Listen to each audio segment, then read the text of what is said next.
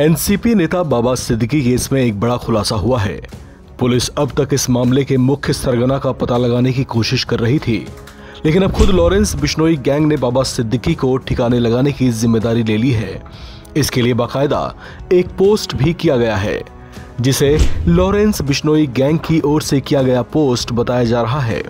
हालाँकि इस पोस्ट की सत्यता की जाँच की जा रही है, और ये भी पता लगाने की कोशिश की जा रही है कि क्या वाकई ये पोस्ट लॉरेंस बिश्नोई गैंग की ओर से ही किया गया है। इस पोस्ट को लेकर मुंबई पुलिस ने कहा कि हमने वायरल सोशल मीडिया पोस्ट देखी है, जिसकी जाँच की जा रही है।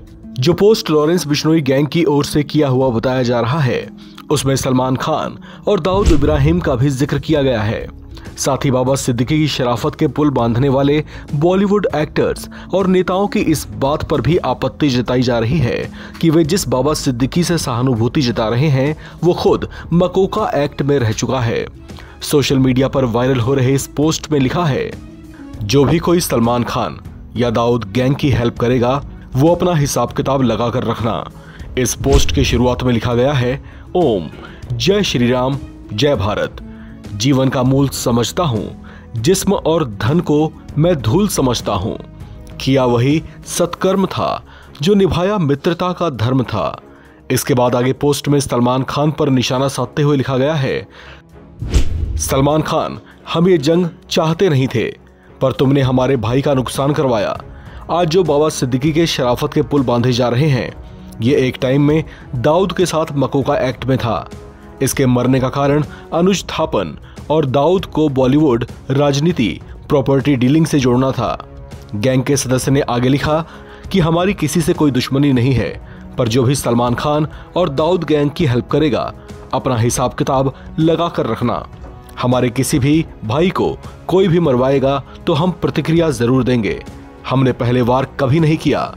जय श्री राम जय भारत। सलाम शहीदानू। अभी पोस्ट सामने आने के बाद चर्चाएँ तेज हो गई हैं, क्योंकि इस घटना के बाद से ही लगातार लॉरेंस बिश्नोई गैंग पर शक किया जा रहा था। अब इस गैंग के इस कथित पोस्ट ने हलचल तेज कर दी है। हालाँकि जिस सोशल मीडिया हैंडल से ये पोस्ट किया गया है, उसका इस्तेमाल लॉरेंस बिश्नोई गैंग ने इससे पहले कभी नहीं किया था। आमतौर पर किसी घटना की ज़िम्मेदारी लेते समय ये गैंग अनमोल बिश्नोई, गोल्डी बराड़ या गैंग के किसी दूसरे बड़े सदस्य के सोशल मीडिया हैंडल का ही इस्तेमाल किया करता था। लिहाजा, ये भी माना जा रहा है कि लॉरेंस बिश्नोई गैंग के नाम पर कोई शरारती तत्व जाँच को बाधित करने की शरारत कर रहा है। हालाँकि पुलिस इस मामले की हर एंगल से जाँच कर रही है। दो हमलावरों को पहले ही गिरफ़्तार किया जा चुका है, जबकि एक फरार आरोपी की तलाश में जगह जगह दबिश दी जा रही है।